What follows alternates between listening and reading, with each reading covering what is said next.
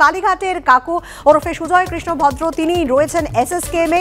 গতকাল ইডি তাকে নিয়ে যেতে পারেনি জোকার ইএসআই হাসপাতালে। আর এবার কালীঘাটের কাকুর ওপর নজরদারি চালাতে এসএসকেএম হাসপাতালের আইসিসিউতে মোতায়েন সিআইএসএফ বৃহস্পতিবার রাতে হঠাৎ বুকে ব্যথা ও শ্বাসকষ্ট অনুভব করেন তিনি এবং রাত সাড়ে বারোটা নাগাদ তড়িঘড়ি তাকে আইসিসিউতে স্থানান্তরিত করা হয়।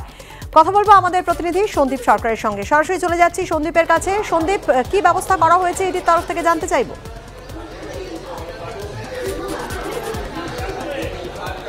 দেখো, ইডির তরফ থেকে সুজয় কৃষ্ণ ভদ্রর ওপরে নজরদারি রাখার জন্য কেন্দ্রীয় আধা সামরিক বাহিনী মোতায়েন করা হয়েছে আইসিসিউর ভেতরে।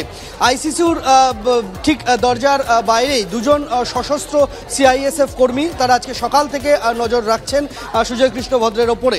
এই আইসিসিউর আঠেরো নম্বর বেডেই কিন্তু সুজয় কৃষ্ণ ভদ্রকে রাখা হয়েছে বৃহস্পতিবার একদম গভীর রাতে সাড়ে বারোটা একটা নাগাদ তাকে আইসিসিউতে স্থানান্তরিত করা হয়।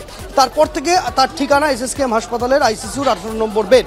সুজয় কৃষ্ণ ভদ্রর সঙ্গে কারা দেখা করতে আসছেন চিকিৎসকরা কি বলছেন, এবং তারপর এখান থেকে তাকে অন্য কোথাও স্থানান্তরিত করা হয় কিনা, এই সমস্ত বিষয়গুলি এবং সুজয় কৃষ্ণ ভদ্রের ওপরে নজর রাখতেই এই এই সিআইএসএফ মোতায়েন, সেরকমটাই আমরা জানতে পারছি।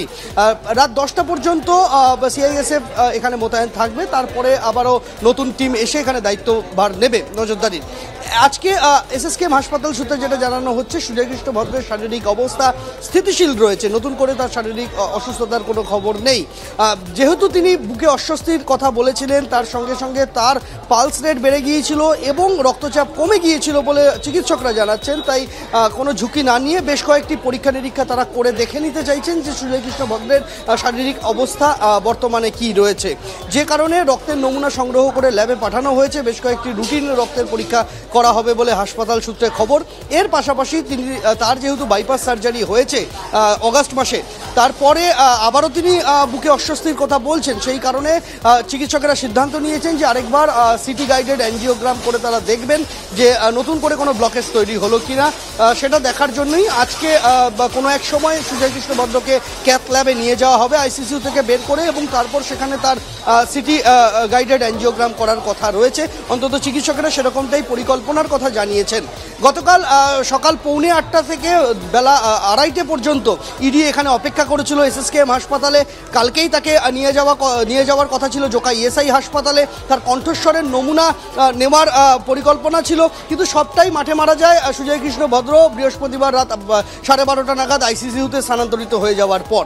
ফলে সেই জায়গায় দাঁড়িয়ে সুজয় কৃষ্ণ ভদ্রের আইসিসিউ মুক্তি তার অপেক্ষায় রয়েছেন ইডি আধিকারিকরা। আইসিসিউ থেকে সাধারণ কেবিনে স্থানান্তরিত হওয়া মাত্রই সুজয় কৃষ্ণ ভদ্রকে জোকাইএসআই হাসপাতালে নিয়ে যাওয়ার পরিকল্পনা রয়েছে। ইডি সূত্রে আমরা সেরকমটাই জানতে পারছি। তুমি দেখতে পাবে যে সিআইএসএফ এখানে যে মোতায়েন করা হয়েছে সিআইএসএফ এর যে কর্মীরা রয়েছেন, তারা আইসিসির মধ্যেই থাকছেন এবং বাইরেও তারা নজরদারি রাখছেন। আইসিসির ভেতরেই তাদেরকে পোস্টিং করে দেওয়া হয়েছে। আমরা দেখতে পাচ্ছি যে দফায় দফায় কিন্তু চিকিৎসকদের সঙ্গেও তারা কথা বলছেন এবং আপডেট, প্রত্যেকটা মুহূর্তের আপডেট তারা নিতে থাকছেন। অনেক ধন্যবাদ, সন্দীপ তোমাকে।